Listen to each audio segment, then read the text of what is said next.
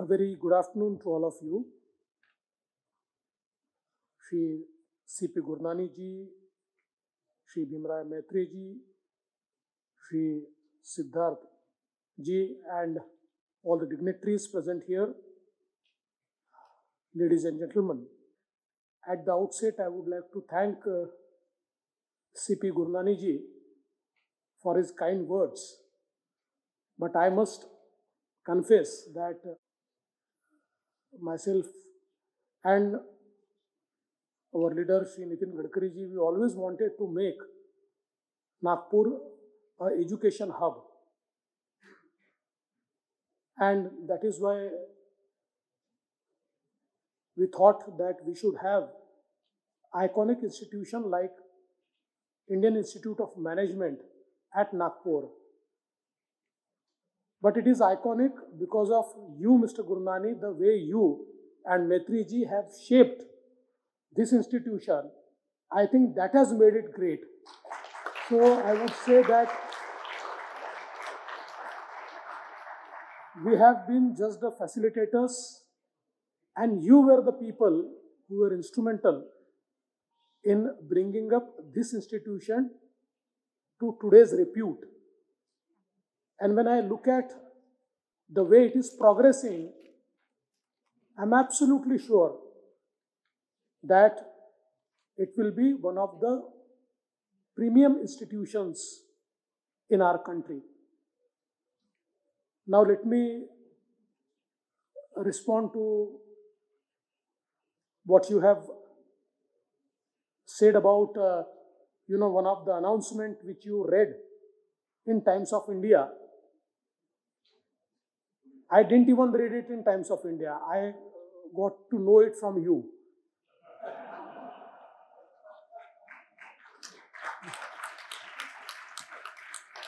So let me tell you, if there is any plan from IIM Nagpur to establish a campus in Pune, I'll be very happy to give land.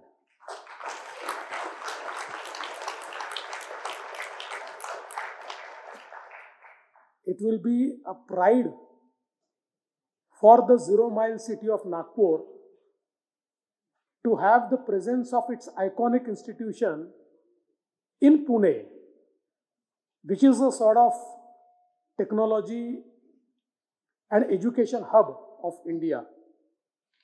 So, I would like to tell you that uh, whenever any such proposal from uh, the IIM Nagpur reaches me, I'll try and expedite it. Today, I'm very happy that this Zero Mile Samvad has been organized by IIM Nagpur.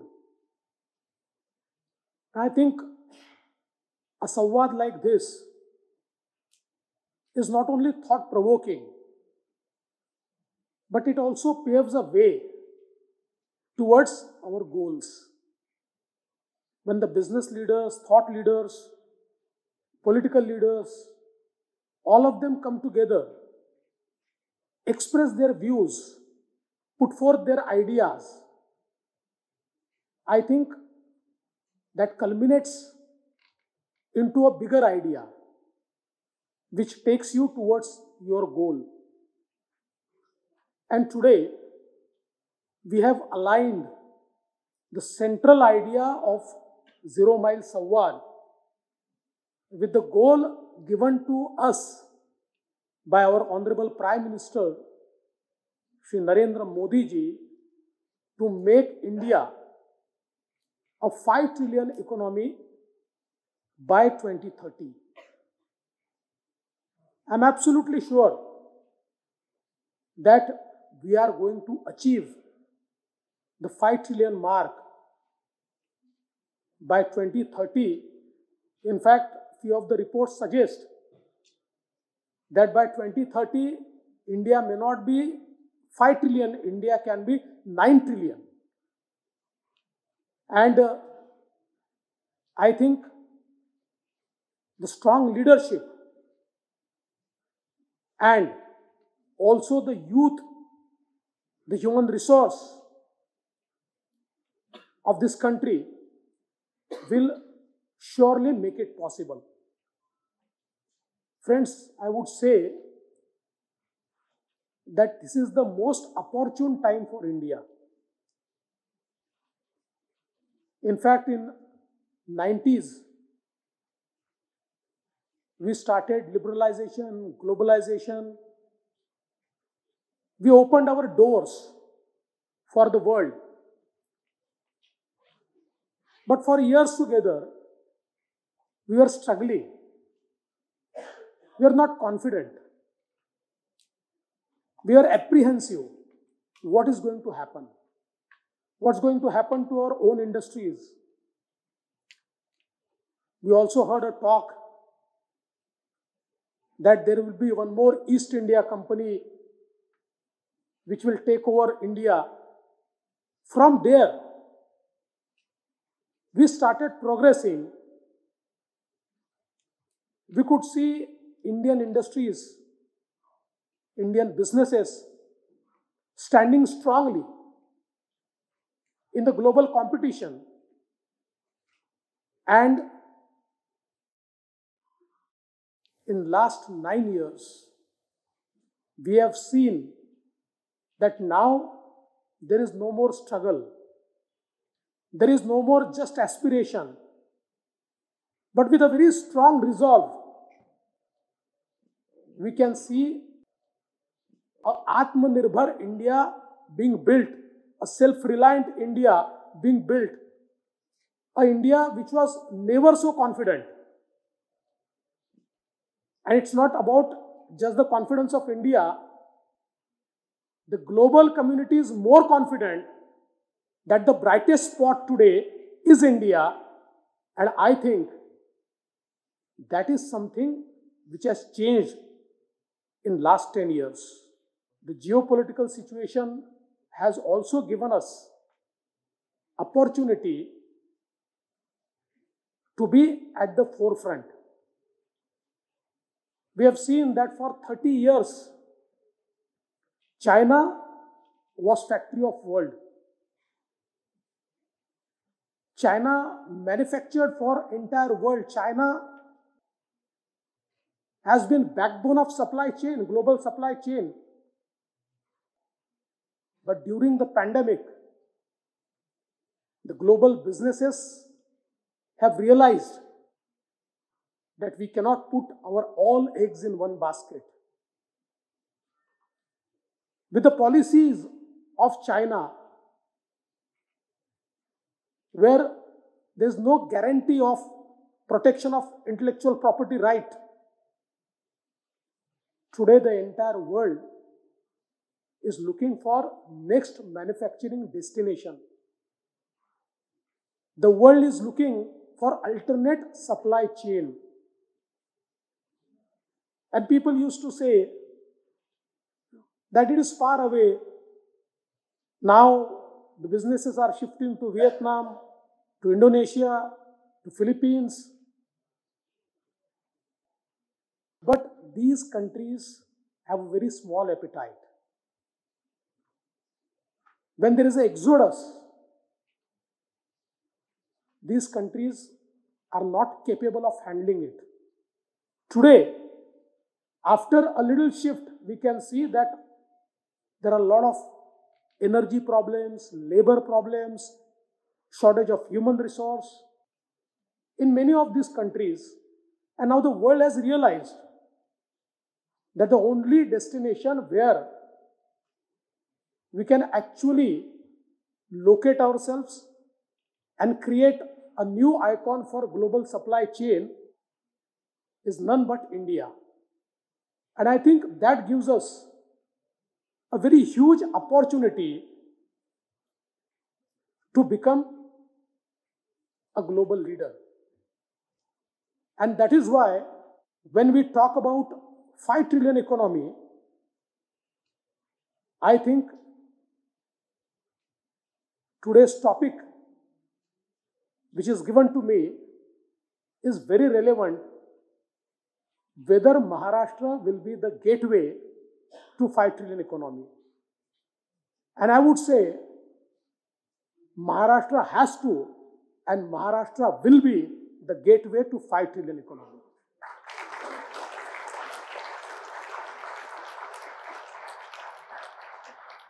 When we look at Maharashtra, a state which contributes around 15% to national GDP, with Mumbai as capital, which is financial, commercial, and entertainment capital of India,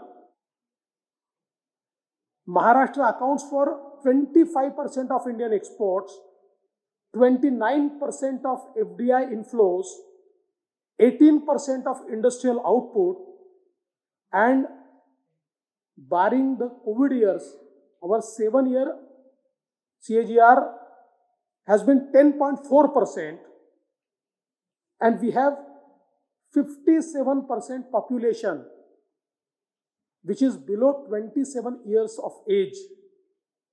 We have highest number of universities in the country and we also account for largest generation of and consumption of electricity in the entire country.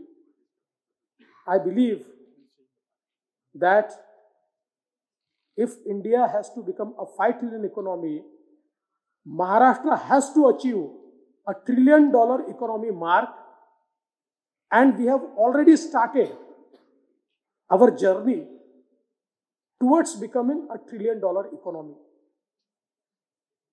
And I think technology plays most important part in this journey. It's an important enabler. It's a force multiplier which provides immense scale. And it's very crucial for such huge population so that there is always a equity and not just handful of people have the fruits of the development and i think this technology led development plan is one of the most important thing which will bring equity in our journey towards trillion dollar economy we all know that technology by its existence and design is very inclusive. It doesn't recognize whether the person is Devendra Fadnavis or whether it is CP Gurnani or whether it is anybody else. Everybody is in a virtual queue, first in and first out. And I think when the governance recognizes that it has to be led by the technology, it brings a lot of transparency, it brings efficiency. And that is why I think technology will be one of the biggest pillar to achieve the trillion dollar mark. I think the speed of travel and the speed of data are the two things which will determine our progress. Speed of travel, of course, the mobility is something which not only gives you quality life, but it also allows you to create a new supply chain. It also allows you to create a new ecosystem. And the speed of data, of course, Today, when we are in an era of 5G,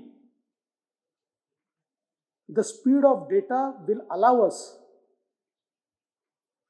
to democratize education and healthcare. It will allow us to reach the last man of the society.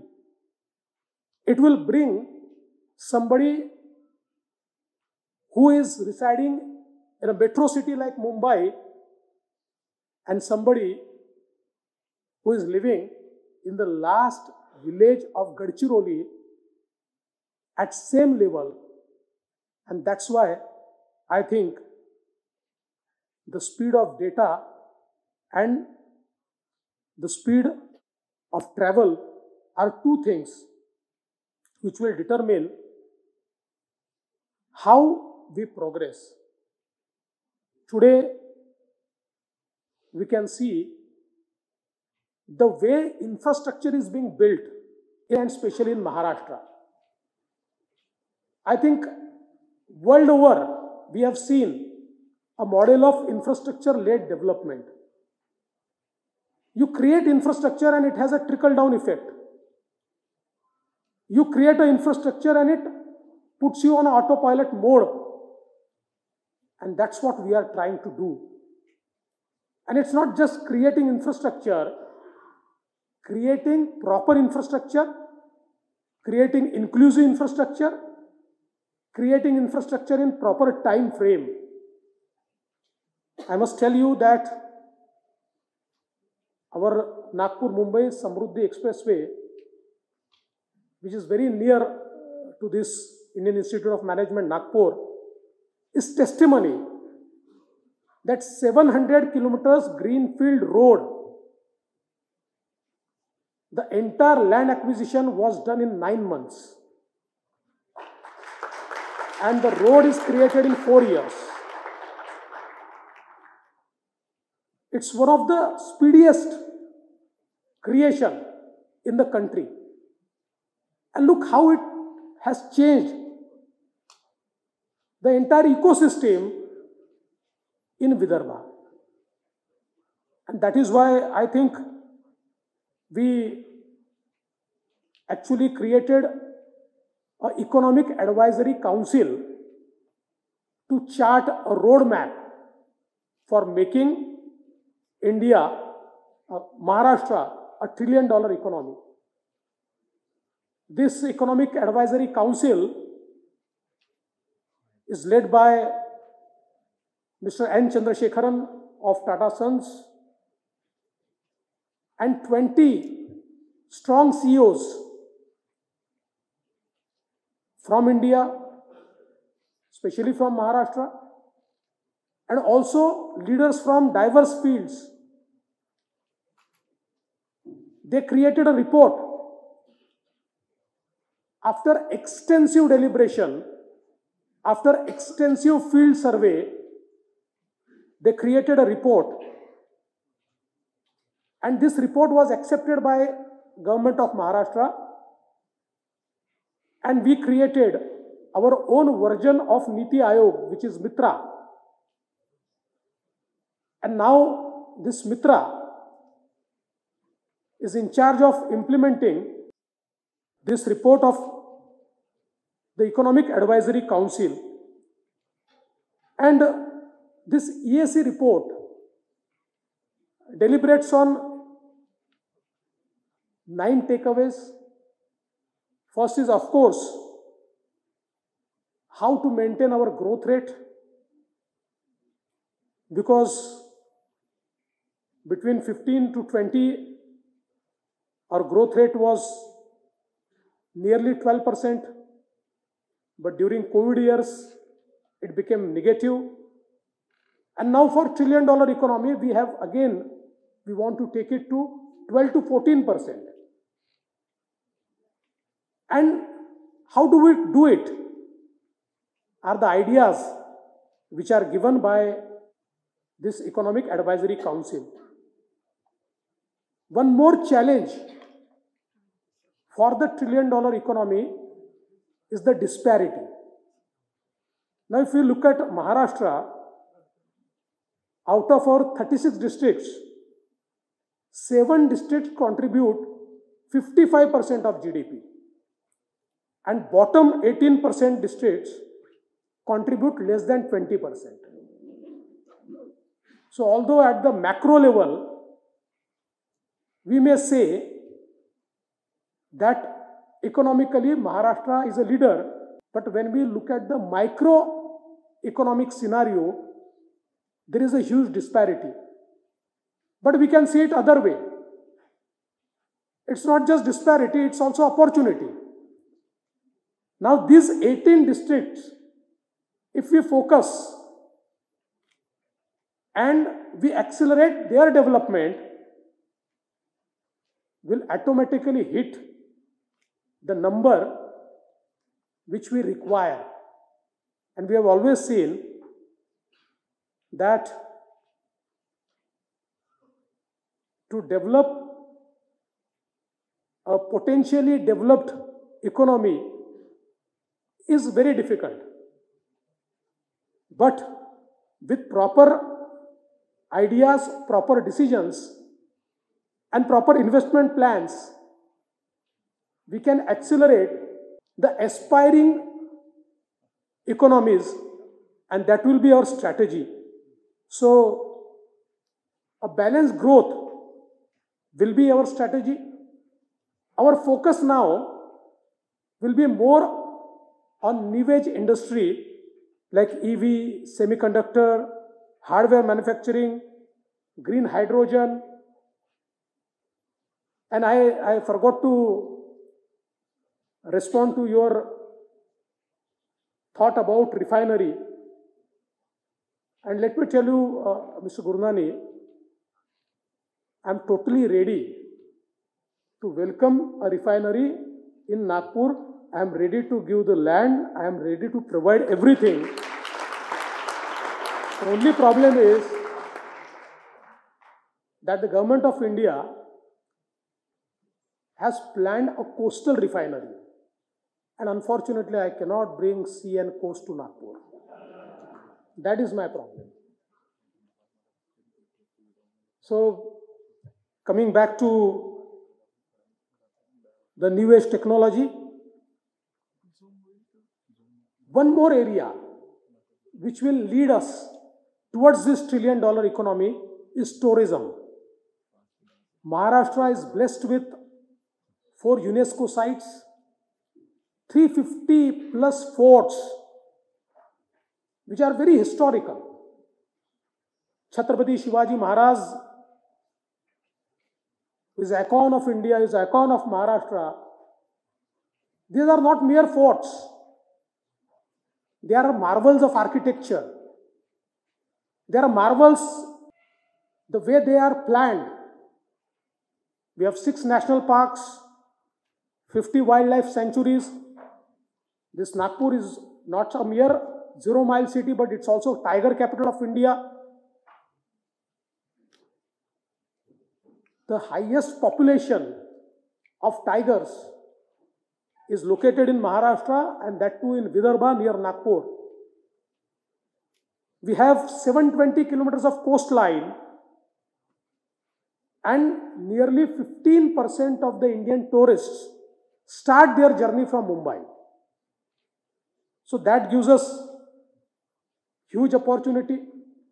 We also have four Jyotirlings, which is also very important for domestic tourism. We have Ajanta Ellora. Ajanta has always been an attraction for global tourists.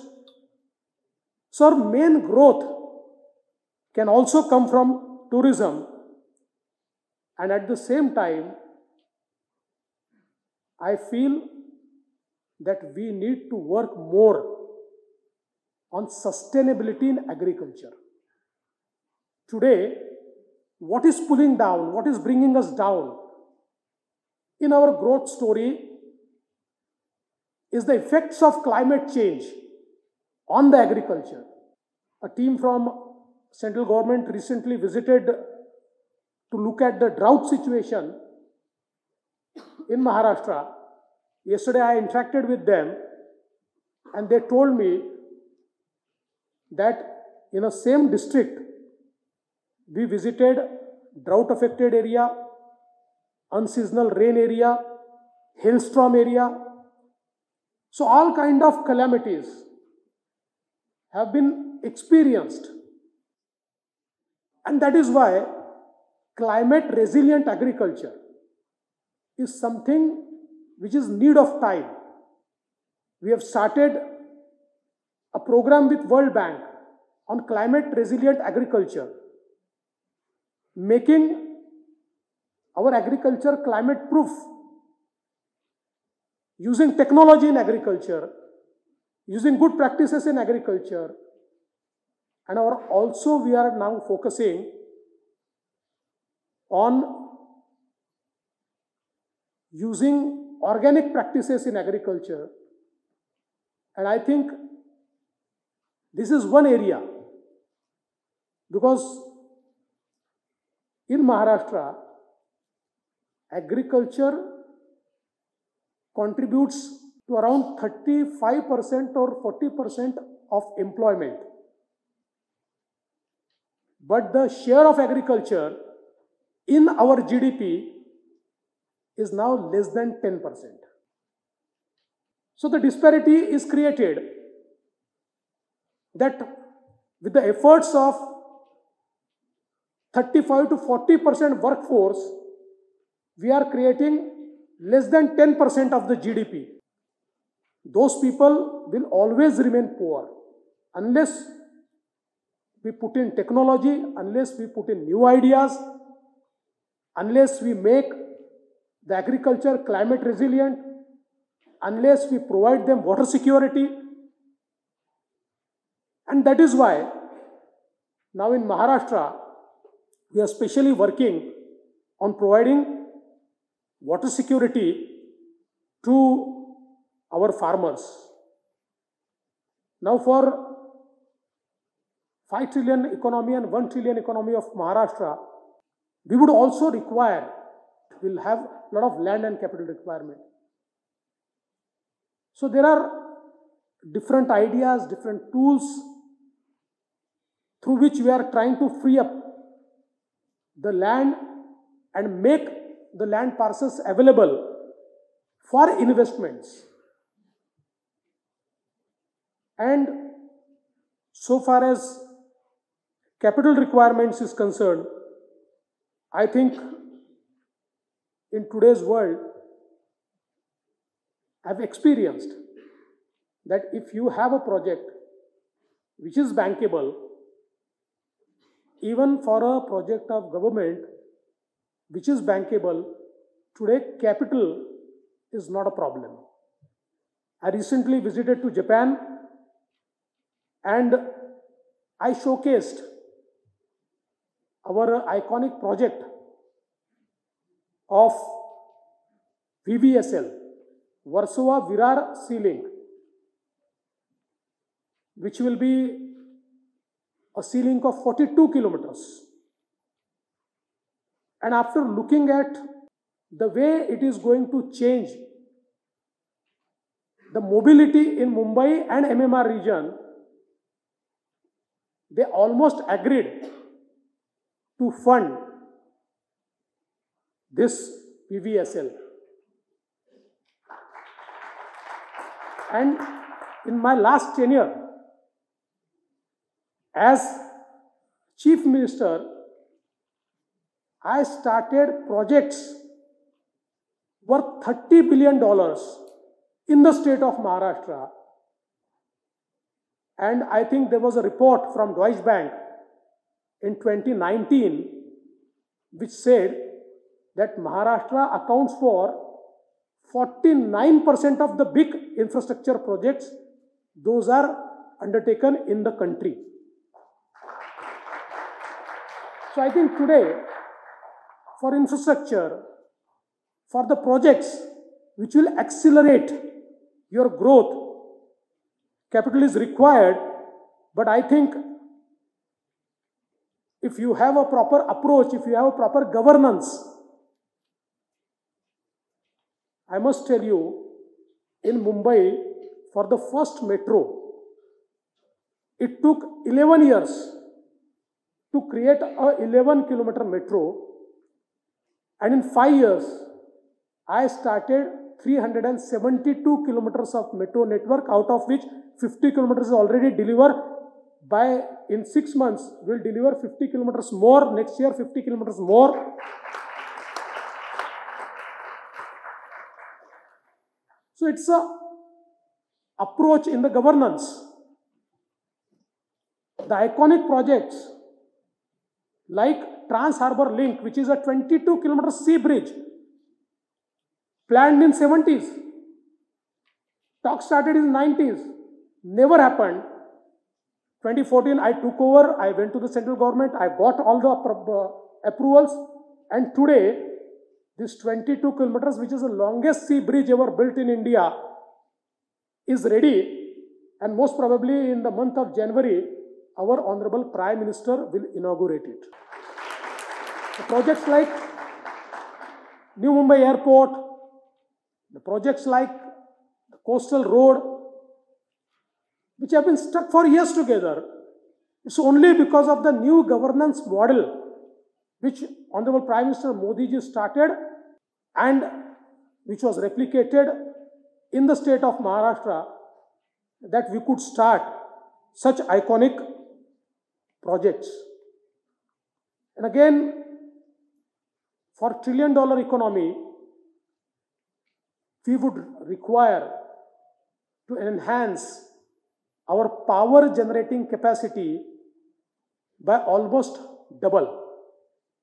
Less than, little less than double. And I think we have started progressing towards that. But now we are fortunate when one world is talking about energy transition. On one hand, we'll start the energy transition, but on another, other hand, while we are developing, we can develop with the green energy. We don't have to go on the path of transition. And that's what we have started in Maharashtra. We are the first state to have green hydrogen policy. We have entered into MOUs of creating pump storage facility and an investment of 2 lakh crore is envisaged to create these facilities and one more iconic project now for agriculture sector we are using 17,000 megawatt of electricity which is coal fired. We came up with a new solution in 2018. The feeders are separated. We said not big solar parks, but the feeder will be solarized. We did 1000 megawatt in 2018-19. It's running very well. And now in next three years, 16,000 megawatt of the agriculture feeder will be shifted on solar. 4,000 megawatt have already been tendered. In next six months, we are tendering 4,000 megawatt more. And that gives us one big advantage because today the landed cost of our power for farmer is 7 rupees. And we charge the farmer 1 rupee 25 paise. So almost 5 rupees 75 paise is the subsidy. Half of the subsidy goes from our budget and half of the subsidy is loaded on industries. Today industries are also coming to us and saying, look, we are global players, energy cost is increasing. But when we are moving towards solarization, I think the cost is 2 rupees 90 paise. It's 3 rupees 10 paise. In some areas 2 rupees 70 paise. So around 4 rupees average we are saving on every single unit. Around 13,000 crores of subsidy will be saved by this transition towards solar. And I'm very happy that now the government of India has instructed all other state governments to follow the Maharashtra model of solarization. I think I have already ran out of my time and I could see that uh, there is a small dialogue between MOC and the organizers. So I would conclude that yes, Maharashtra is going to lead the way Because recently a survey was done by Outlook and it has established that the startup capital is not Bangalore, it's not Hyderabad. The startup capital is Maharashtra. The highest number of startups, the highest number of unicorns are situated in the state of Maharashtra. And I must also tell you, while I was chief minister for four consecutive years, we were leading in FDI. After that, three years, around two and a half years, we were out of power. One year, Karnataka became number one. Second year, Gujarat became number one. But again, after we came to power this year, Maharashtra is number one in FDI. So, with this renewed sense, I am very sure that Maharashtra is going to lead the way. I would just like to conclude by what Peter Drucker once said the best way to predict the future is to create it. So I would like to say, join me. Let us work together to make India a 5 trillion economy and Maharashtra a trillion dollar economy thank you जय हिंद जय महाराष्ट्र जय भारत